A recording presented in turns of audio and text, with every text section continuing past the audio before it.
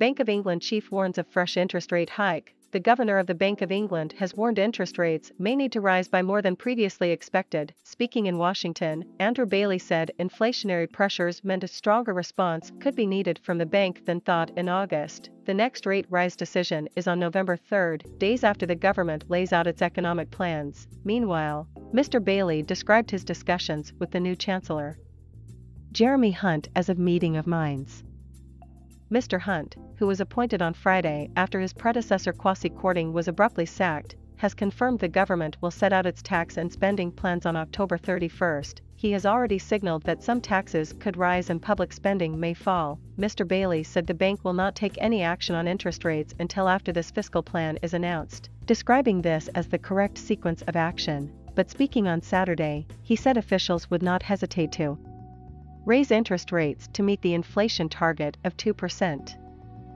The warning comes just weeks after the bank hiked interest rates by 0.5% to 2.25% on September 22, prior to Mr. Bailey's comments. The markets were expecting a rise of between 0.75% and 1% when the bank's Monetary Policy Committee makes its next rates decision in November. Mr. Bailey also commented on the effects of the government's recent mini budget, which he said had been followed by some some violent moves in the last few weeks in UK markets. He also spoke of the need to have the office for budget responsibility, OBR, involved in the government's budget discussions adding that flying blind is not a way to achieve sustainability. Last month, it was revealed that Mr. Kwarteng had refused to allow the OBR to review the impact of his mini budget on the economy before he delivered the statement.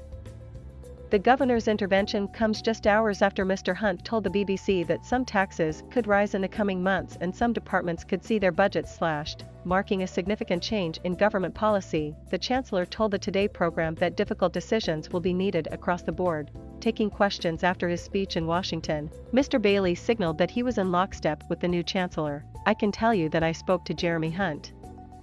The new chancellor, yesterday, Mr. Bailey said, I can tell you that there was a very clear and immediate meeting of minds between us about the importance of fiscal sustainability and the importance of taking measures to do that. He added that the comment was intended as a clear message for markets.